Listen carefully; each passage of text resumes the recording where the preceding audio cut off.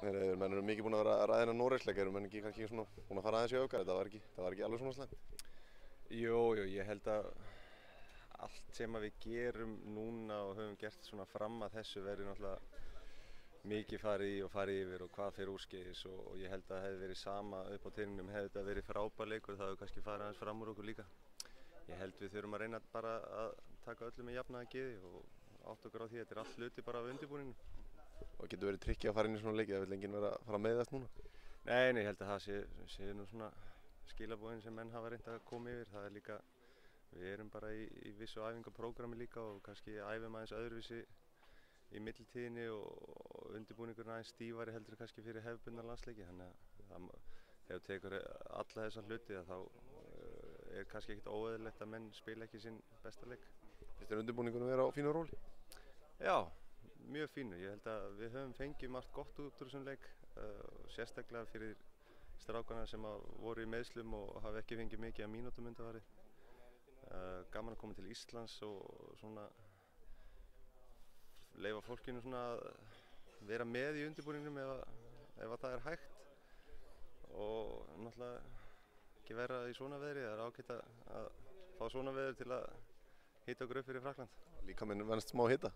Já, það, það er bara gott. Ég held að veri bara hérna, fín stemning og við höfum bara njóta þess að vera á hörðum æfingum og, og undirbúa okkur vel og eins og segi, það snýst allt um það að vera eins feskir og hægt er þegar að móti byrjar.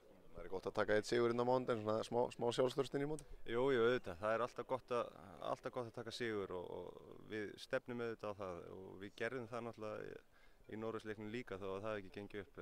Það verður alltaf að vera aðal markmið en, en stundum eru aðri hluti sem spil inn í. Men fór eitthvað að ræða að gera, geti þetta verið þinn, þinn síðasti landsleikurinn á lögutsvellinum á mándi? Það geti alveg verið. Ekkert búin að vera pælið? Nei, ég held að ég hef ekkert mikið viljað pæli því að við, það er bara aðri hlutir að einbytta okkur að og við erum bara í miðjum undirbúningi og það á að vera aðalatrið, það á ekki vera eitthvað issue hvort ég spilir minn síðasta landsleik á lögatisvöldinu með ekki. En hvernig hefur verið þessi síðustu mánu? Er það bara svona hugsun um frak Frakland? Er þetta búið að vera í hausnum ára á hverjum degi? Já, svona einhver staðar. Hef ekki, ég hef ekki verið uh, sérstaklega upptíkin á þessu daglega en, en það má segja að að náttúrulega hluta til hafi ég farið til Noregs og í Molde með, með það bak við eira að ég væri að gera allt sem ég geti til að vera í standi fyrir Frakland og vera þá valinn, fá mikið af mínútum, spila mikið og vera bara í eins góðu stand og hægt er með við aldur. Þannig að það hefur bara gengið eftir og ég er mjög sáttur við hvernig það þróaðist. Svo því sem nærdregur og hópurinn tilkynntur og þá viðkynni það alveg að þetta er Þetta er hlutur sem poppar upp í, í hausnum á mörnum svona 23 tíma af 24 á dag. En kemur það því að hópur á valin? Varstu einhvern tímanum í EFM og verðið val?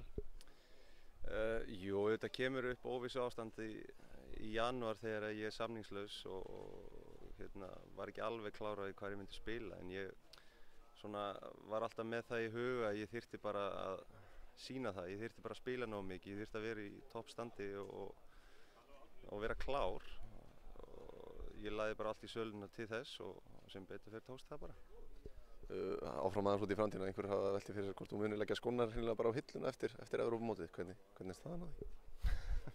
ég veit það ekki, ég veit það ekki, það er allt opið í þessu, ég ætla bara að spila fótboll eins lengi og ég get og, og finn mig hafa bæði andlega og líkamlega börði til þess.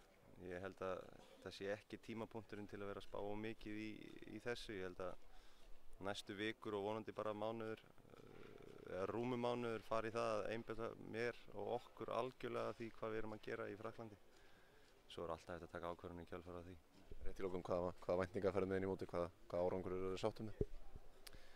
Ég er því sáttur við það að koma heim á einhverjum tímanpunkti vitandi það að við gáum okkur alla í þetta og, og að það skína á okkur leikliði og við njótum þess að, að vera þarna og ná, höfum ná, náð að sína af hverju við vorum þarna.